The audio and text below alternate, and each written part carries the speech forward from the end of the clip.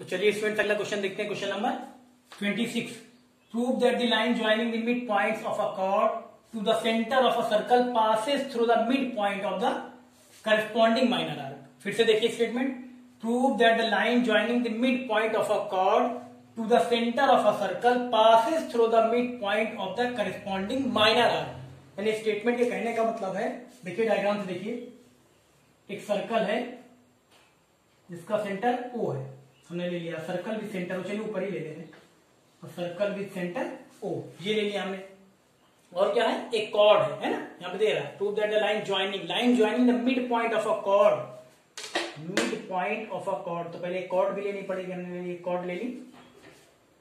A B हमने ले लिया chord A B A B का मिड पॉइंट ये रहा। चलिए ए बी का मिड पॉइंट ले लिया। तो यहाँ पे कह रहा है line joining the mid point of a chord to the centre of a circle line joining mid point of chord and the centre of a circle है ना? यानी सेंटर ऑफ़ सर्कल और कॉर्ड के मिड पॉइंट को जो join करने वाली line है उसके बारे में कहा जा रहा है। Centre centre of a circle passes through the mid point of the corresponding minor arc अब यहाँ माइनर आर्क की जो ए बी आर जो बनी हुई देखिए, ये यहाँ से आता है। ये क्या है? माइनर आर्क ए बी है ना? उसके मिड पॉइंट से जाती है, उसके मिड पॉइंट से जाएगी। ये हमको प्रूफ करना है। तो यहाँ पे चलिए, हम लिख ले रहे हैं इसको, देखिए।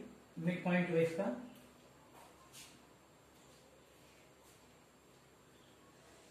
ये, ठीक है?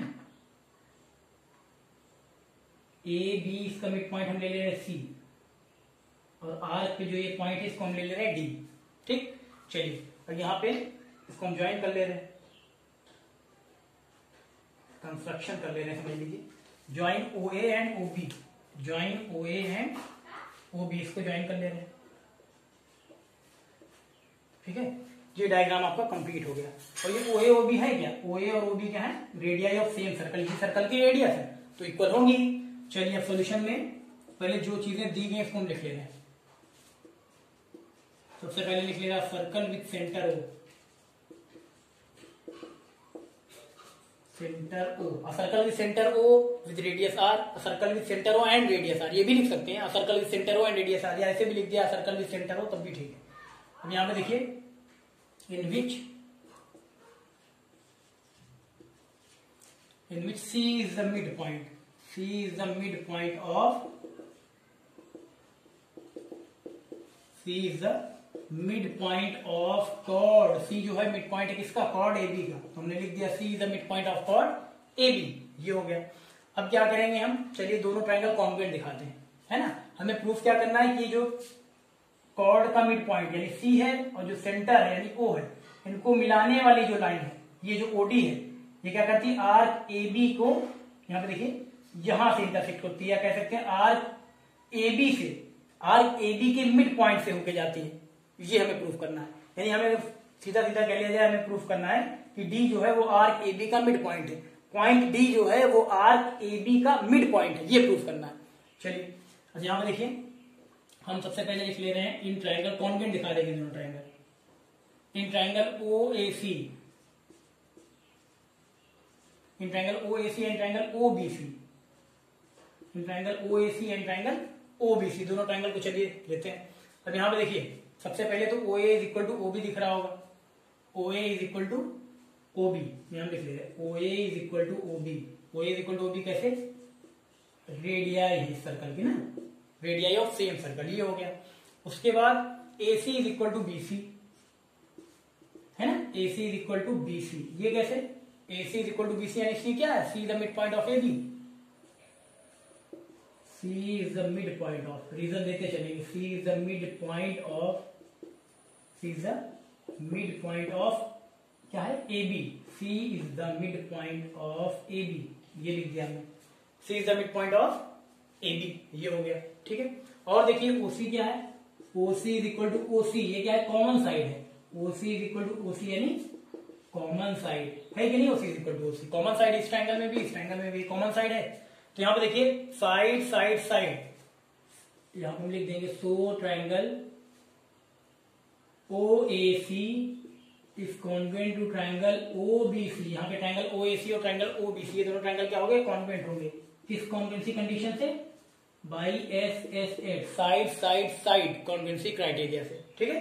दोनों ट्राइंगल कॉन्वेंट हो गए. अब जब दोनों ट्राइंगल कॉन्वेंट हो गए तो हम सीपीसीटी से लिख सकते हैं क्योंकि करस्पॉन्डिंग पार्ट इक्वल होते हैं ना कॉन्वेंट ट्राइंगल्स के तो हम सीपीसीटी से लिख सकते हैं एंगल ए ओ सी ये एंगल और एंगल बी ओ सी और ये एंगल ये एंगल ये एंगल हम लिख सकते हैं सीपीसीटी से इक्वल तो लिख देंगे।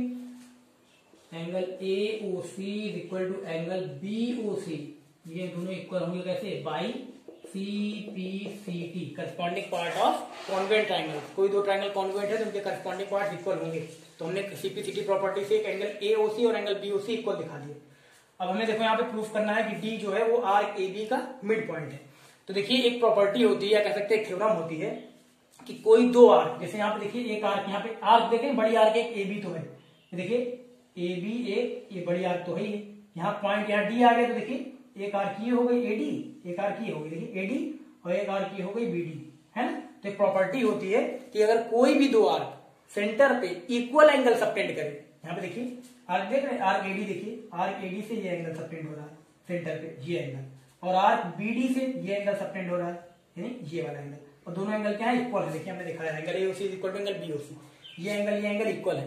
तो आपको पता होना चाहिए, अगर कोई दो आर्क हैं, और उन दोनों से सेंटर पे अगर इक्वल एंगल सबटेंड हो रहा है तो वो आर्क भी इक्वल होगी, है? ना देखिए, इस आर्क एडी से ये वाला एंगल और आर्क बी डी से ये वाला एंगल ये दोनों एंगल देखिए इक्वल है। इक्वल दिखाया है ना? तो अगर इस आर्क से ये एंगल सबटेंड हो रहा है, इस आर्क से ये एंगल सबटेंड हो रहा है, यानी कि दोनों आर्क भी इक्वल होंगे, है ना? प्रॉपर्टी कहती है अगर कोई भी दो आर्क हैं, कोई भी दो आर्क हैं, और दोनों सेंटर पे इक्वल एंगल सबटेंड कर रहे हैं तो वो आर्क भी आपस में इक्वल होंगे। तो यहाँ पे देखिए, अगर दोनों एंगल इक्वल सबटेंड कर रहे हैं तो ये आर्क भी इक्वल होंगे। तो हम लिख सकते हैं AD is equal to B D यहाँ पे हम लिख देंगे AD is equal to B D अब यहाँ आर्क देखिए आर्क लिखना है तो ऊपर ऐसे लिखते हैं। कभी भी आर्क मान लीजिए लिखना है arc A B arc A B arc A B ऐसे लिख दीजिए, या तो आप ऐसे भी लिख सकते हैं आर्क ए बी आर्क ऊपर लगा के। इसको भी पढ़ा जाएगा आर्क ए बी। तो हमने लिख दिया आर्क यहाँ पे देखिए arc A D is equal to arc B D. तो जब आर्क ए डी और बी डी, ये आर्क और ये आर्क इक्वल हो गए, यानी कि पॉइंट डी क्या हो गया? मिड पॉइंट हो गया। यानी हम लिख सकते हैं D is the mid point of arc A B. यही हम लिख दे रहे हैं D is the mid point of arc A B. यहाँ लिख दे रहे हैं, ठीक है? यही लिख दे रहे हैं। Therefore d is the midpoint of d is the midpoint of arc d is the midpoint of arc AB है ना ये हो गया prove d is the midpoint of arc AB prove यही प्रूव करना था ठीक है करिए